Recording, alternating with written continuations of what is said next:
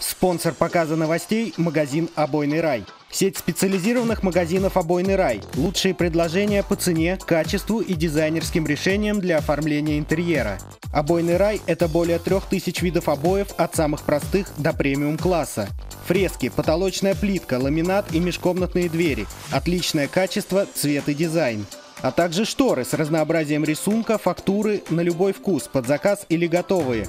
В магазин «Обойный рай» приходи и выбирай по адресу Московское шоссе, дом 53 и Северная площадь, дом 5А. Как всегда, «Обойный рай» удивит своими ценами.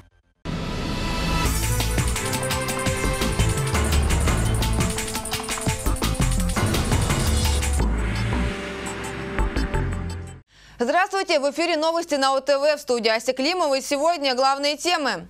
Заложники обмана в домах Херницкого снова искали гастарбайтеров. Тепло для всех. В поселке Серпуховского района люди не будут замерзать благодаря городской теплосети. В поисках работы в Серпухове прошла очередная ярмарка вакансий.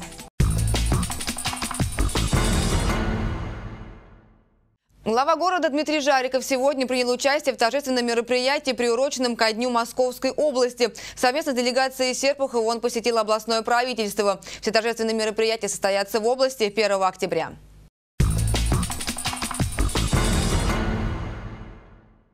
Жители дома номер 9 по улице Красный Текстильщик обратились к главе Серпухова Дмитрию Жарикову с просьбой провести проверку законности размещения общежития в цокольном этаже их дома. Реакция была незамедлительной. Сегодня сотрудники администрации совместно с полицейскими МО МВД России Серпуховской и представителями территориального отдела Госатомтехнадзора Серпухова провели выездную проверку по фактам изложенного обращения. На месте побывала наша съемочная группа. Елена Лосева купила квартиру в доме номер 9 по улице Красный Текстильщик в 2004 году. Обещание прекрасной перспективы жить в доме с консьержем, стоянкой и фонтанами обернулись многолетними проблемами. После пяти лет обслуживания управляющей компании «Союз ЖКХ» предложила жильцам заниматься домом самостоятельно. За избрание другой управляющей компании отказался голосовать самый крупный собственник площади. Сейчас голосуем не количеством людей, а квадратными метрами. И вот у одного из собственников вот этого вот нежилого помещения цокольного этажа, у Владимира Романовича, площадь 1144 квадратных метра. Проблемный дом, как оказалось, имеет отношение к герою наших многочисленных репортажей Владимиру Кирницкому. Спустя годы его управляющая компания предложила свои услуги жильцам злосчастного дома. Данное согласие на сотрудничество обернулось большим разочарованием. С 2015 года начались наши опять хождения по мукам. Компания ничего не, произ... ничего не проводит по обслуживанию ремонта дома. Абсолютно ничего. Не делали, но платежки присылали исправно. Причем сумма оплаты постоянно изменялась. Факт заставил людей задуматься о том, что на них повесили расходы на содержание нелегального общежития, расположенного в цокольном этаже. Борьба э, с организацией Кирницкого ведется уже на протяжении практически трех лет. Успеха не приносит пока. Что здесь только не было. Я уже в своей квартире я пережил пожар, который был организован в подвальном помещении пьяными жильцами этой общаги. Проверка цокольного этажа дома номер 9 по улице Красный Текстильщик сотрудниками полиции подтвердила, что в помещении, имеющем статус нежилого, действительно расположено общежитие для рабочих, расположено незаконно. Установлено, что по данному адресу проживают граждане, осуществляющие трудовую деятельность вахтовым методом на территории городского округа Серпухов Серпуховского муниципального района. Учитывая статус помещения как нежилого, собственник не имеет права размещать в нем для временного или постоянного проживания никого. Это является нарушением законодательства и прав собственников дома на спокойную и безопасную жизнь.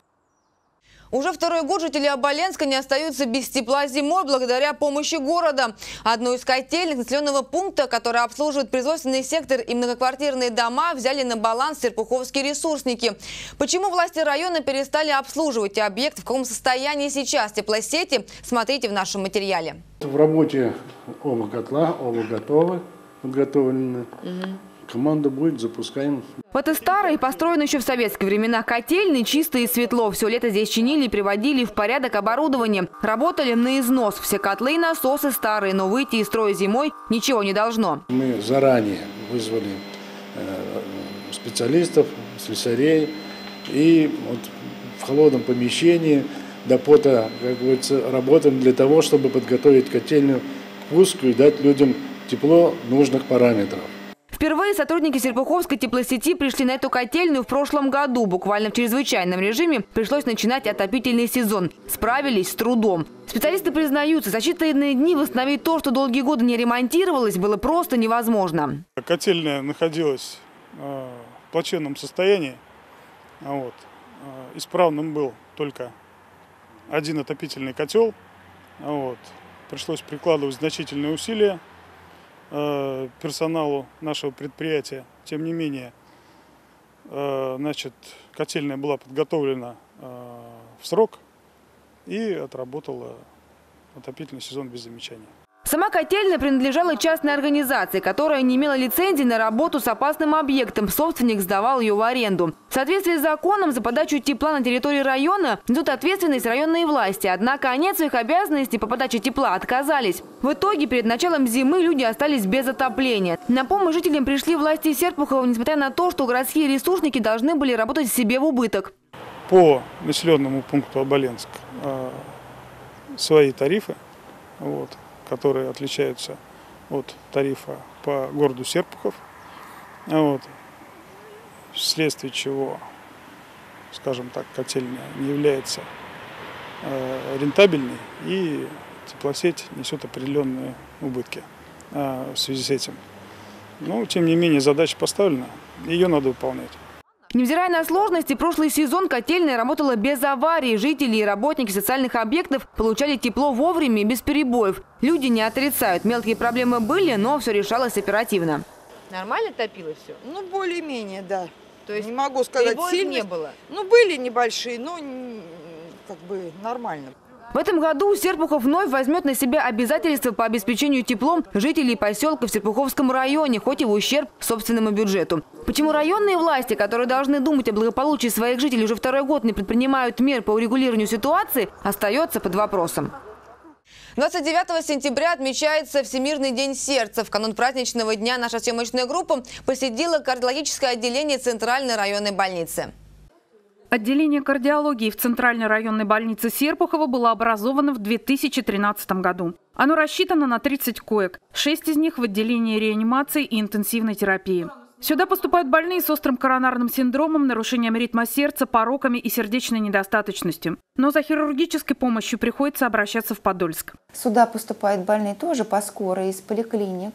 Э, которые или по тяжести состояния не могут быть довезены до Подольска, и их э, привозят в наш э, первичное сосудистое отделение, где мы здесь стабилизируем больных и при необходимости отправляем уже в региональный сосудистый центр. В отделении проводится медикаментозное лечение, при необходимости тромболитическая терапия, восстанавливающая кровоток в сосуде. В распоряжении медперсонала аппарат ЭКГ и УЗИ, аппарат для искусственной вентиляции легких, беговая дорожка для диагностики стенокардии, рентген, прикроватные мониторы. Персонал очень добродушный, все хорошо. Нянечки заботливые, медсестры внимательные. Ну, о врачах уже и говорить нечего. Чтобы сохранить свой природный мотор как можно дольше в хорошем состоянии, нужно вести здоровый образ жизни, не курить и, главное, поменьше нервничать. Бывают ситуации в жизни, что они произошли уже, и мы не можем изменить. И поэтому мы начинаем себя накручивать, как режиссеры, и мы только ухудшаем, мы делаем себе плохо этим. И поэтому надо спокойнее относиться, стараться. Смертность от болезни сердца в Подмосковье по сравнению с предыдущим годом снизилась на 17%. Хотя это по-прежнему одна из главных причин летальных исходов. Всемирный день сердца призван привлечь внимание медработников и населения к вопросам профилактики сердечно-сосудистых заболеваний. Очередная ярмарка вакансий прошла в Серпуховском центре занятости. Соискатели работы напрямую общались с работодателями. Сегодня свои вакансии предложили 15 предприятий. Ротеп, металлист, электромеханический завод, механический завод. Сегодня предприятие по пищевой промышленности, это Адрия, легкопромышленный парк, предприятие транспорта, автоколонна, порт Серпухов, больница имени Семашко. Для тех, кто не может найти работу по своей специальности, сотрудники Центра профориентации проводят тестирование и предлагают переподготовку по более востребованной специальности. Проблема трудоустроиться. Мы сейчас получили консультацию. Вот. Нам вот пообещали, что его обучат вот, новой какой-то специальности. Мы, я думаю, что будем работать. В Серпуховском выставочном центре состоялась встреча авторов фоторабот выставки «Русская пикториальная фотография 21 века» с местными зрителями. Пообщались с фотохудожниками и мои коллеги. Организаторы первого Всероссийского фестиваля русской художественной фотографии привезли в Серпухов 70 лучших работ на тему «Русская пикториальная фотография 21 века». Вообще же фестиваль проходит на пяти выставочных площадках – в музейно-выставочном центре Серпухова, историко-художественном музее и трех площадках Пущино. У художественной фотографии есть будущее, считают участники фотовыставки. Я очень рад, что на этом фестивале представлены э, фотографии молодых фотографов, которые дают мне, вот лично как фотографу и как человеку, надежду в том, что русская художественная фотография не умерла. Каждый из авторов по-своему видит идеальную художественную фотографию. Собравшись вместе, можно перенять опыт друг у друга, отметить лучших авторов пикториальной фотографии. Пару десятилетий вообще никаких фотофестивалей не было. А я все-таки за общение не по скайпу, Фейсбуку, и все-таки очень важно общение людей друг с другом вживую. 1 октября в музейно-выставочном центре будут подведены итоги блиц-конкурса фотографий «Серпухов, Андреев. Столетия спустя», в котором могли принять участие все жители города. В физкультурно-оздоровительном комплексе «Русский медведь» прошел День здоровья. С воспитанниками спортивных секций провели беседу о вреде наркомании, подчеркнули важные занятия физкультурой и спортом, а затем для ребят был организован микротурнир по волейболу. Спортсмены школы считают, что тренировки полезны и для поддержания формы, и для становления характера. Ты, когда занимаешься спортом, ты себя заставляешь заниматься им, и это вырабатывает в тебе чер, э, черты характера, целеустремленность, воля к победе. Командный, вот, в командных видах спорта ты объединяешься со всеми, сплочаешься в одну команду. Это очень полезно. На сегодня это все. Сразу после новостей прогноз погоды. Не забывайте, мы есть в сети интернет на нашем сайте otvmedia.ru, во всех социальных сетях и на официальном сайте администрации города. Всего доброго и до встречи в эфире.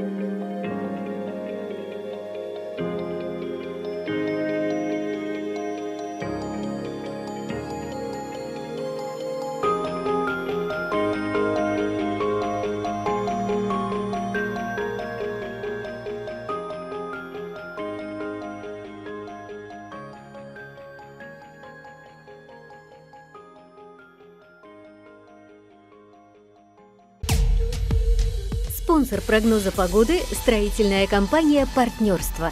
Готовые квартиры в новом микрорайоне по привлекательным ценам. Многолетний опыт работы, высокий уровень комфорта, тысячи счастливых обладателей квартир. Компания «Партнерство».